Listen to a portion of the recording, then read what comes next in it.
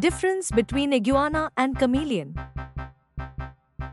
Iguanas and chameleons are both fascinating reptiles, but they have distinct characteristics that set them apart.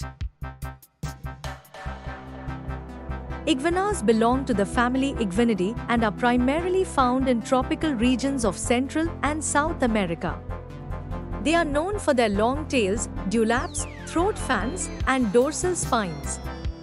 Iguanas have sturdy bodies and strong limbs, enabling them to climb trees and move swiftly on the ground. They are primarily herbivorous, feeding on leaves, fruits, and flowers.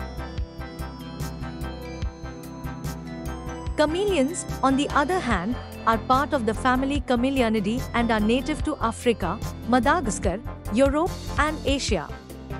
They are renowned for their unique ability to change color, which they use for camouflage, communication, and thermoregulation.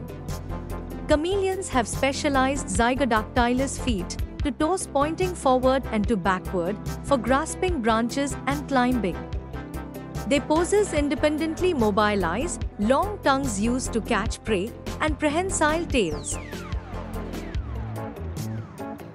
In summary, while both iguanas and chameleons are reptiles, iguanas are known for their sturdy build and herbivorous diet, while chameleons are famous for their color-changing ability and specialized anatomy for arboreal living and hunting. Thanks for watching. Don't forget to hit the like button and subscribe.